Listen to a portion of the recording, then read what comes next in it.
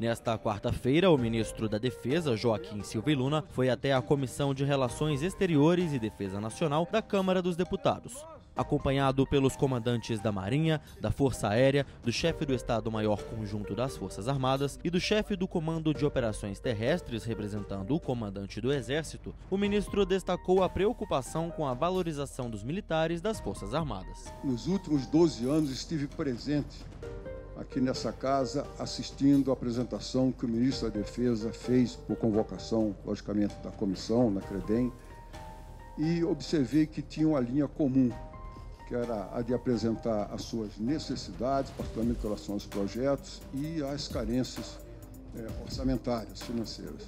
Entendi que essa seria uma oportunidade de falar daquilo que hoje mais preocupa cada um dos comandantes aqui presentes, que seria a sua gente, seu pessoal.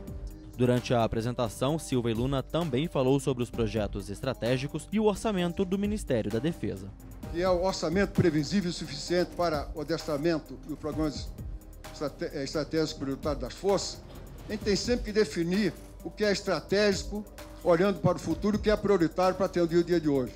Se deixarmos é, ser pressionados pela urgência, pela emergência, vão ficar investidos somente no dia de hoje. E projetos estratégicos de defesa têm uma longa maturação. A briga é sempre essa, investir no agora e investir no futuro. Ao final, o ministro ressaltou a importância da audiência e agradeceu o convite.